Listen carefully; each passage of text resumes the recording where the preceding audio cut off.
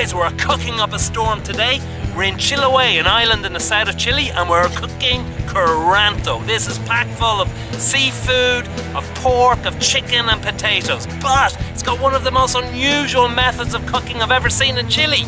It's heated stones in a hole in the ground. Let's get to it. I'm out of my tree. This is where it all begins, the pit. So these stones in here been heating up over the last couple of hours. They just put in some wood, get it nice and burning.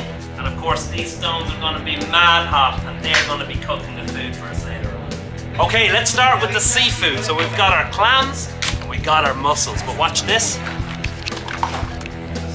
Look at the size of that, huh? Okay, the spuds, right? So they use two types of spuds here.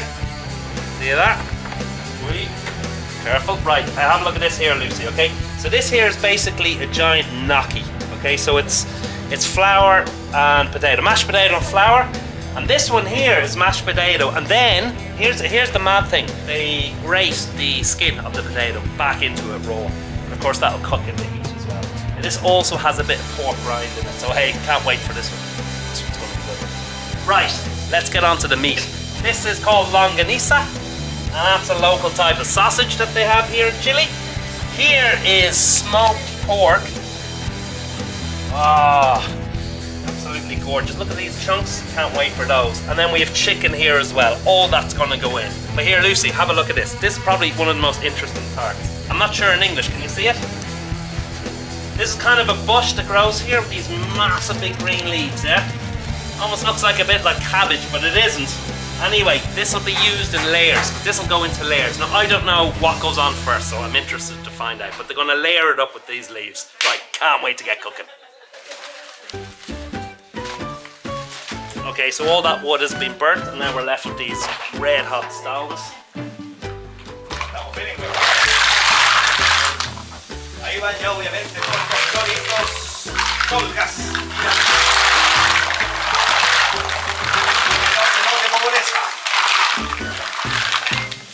Cuántos kilos hay, sabes? No. That's, that's got you. It's, it's two crates anyway, two crates full.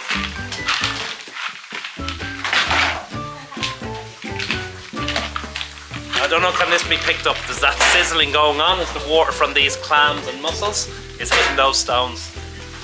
Right, chicken. Ahí obviamente las papas. Papas de más así que Uh, by the way, the potatoes in Chiloé are bloody excellent.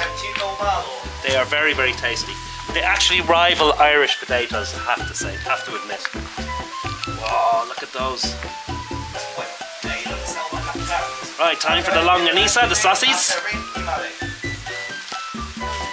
Longanisas, yeah. Mabel's just saying they're longanisas. I won't call them sausages, they're not sausages. So this is the first layer.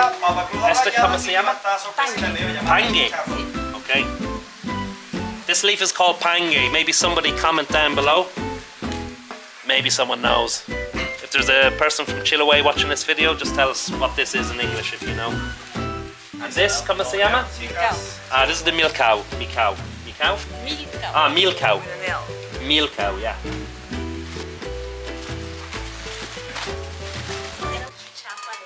Chocolate.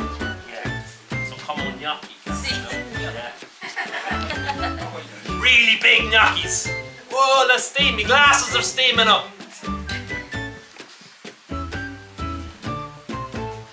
Lo máximo posible es el calor. Lo importante es el estado, la tecnología. Se va a colocar una lona tecnológica que le da por.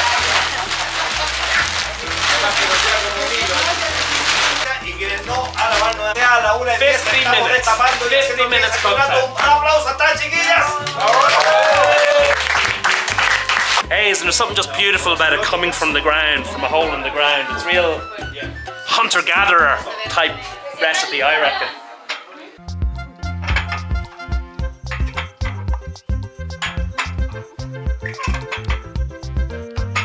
We're almost 20 minutes into the cook process and you can see that this steam is just billowing out. Look, it's a little dome here where the plastic is. It's looking good. I do have one question for Mabel.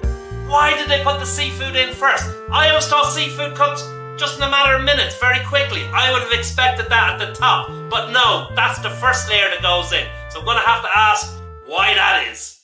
Guys, now most of the tourists have come down to the beach or the local village to have a look around while this cooks. But we're here with our two friends. We have Joelle from Montreal. Yeah, hi. Check her out. She's an up and coming comedian in the scene, so check her out there. Yeah. French comedian. No, it's in French, but still. Okay, hopefully someday AI can do subtitles. and we have Malu here from France, but she's studying medicine in Trinity College Dublin. Uh-huh. Thumbs up. So you can meet her by becoming ill. Get yourself a fatal disease or something like that, and you'll be able to meet her. The cook is almost finished. You can see there's a lot less steam coming out. I'm going to help them now take all this out. I can hear the tourists coming back in. We're all starving. Completely vapored up.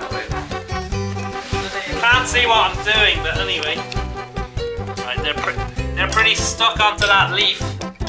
There, fuck that one up. Oh, lovely. Woohoo, layer number two. The milk, milcao.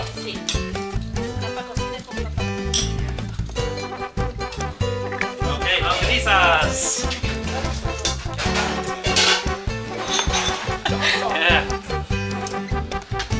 A lovely smell because this is, as I say, it's smoked. Wait.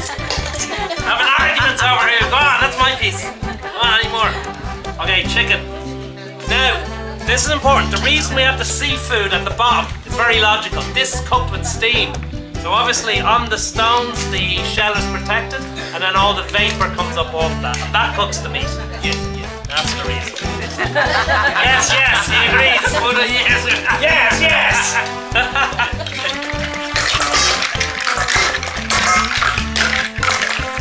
They've all opened up. All cooked. Wow.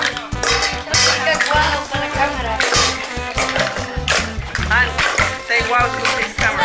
Wow! Wow! Brilliant! Leave your tree. YouTube. Leave your tree. Yeah. You follow her. Here, here, look, I got a lot of clams in this one. Yummy. Let's go with two, sure, why not? Eh, salud, salud, salud. Tito, Tito, ¿de qué parte vienen? Irlanda, Ireland. Salud, salud. Hey guys, look at this. We're tucking in. Absolutely amazing. I love this. We have a bit of everything. I love the idea that you've got your meat, you've got your chicken, and you've got your seafood. Plus, these are unusual, I have to say. The milcao, it's a winner for me. It's got the bits of um, bacon inside it, the bacon rind. Quite an unusual taste and texture. We don't have anything like this back home. I give it a thumbs up. Brilliant. Okay guys, how was it? Is it thumbs up? Thumbs up, thumbs up. Guys, what an experience and what a feed. Look, if you're in Chiloé, definitely check out a Curanto. Okay guys, you know what you have to do. You have to press the like and the notification and comments and you have to start spreading this to all your friends. Make this the most famous video and all that. But maybe you don't want to do any of that. If you don't, doesn't matter. But make sure you see us in the next adventure. And until then, take it easy. But take it!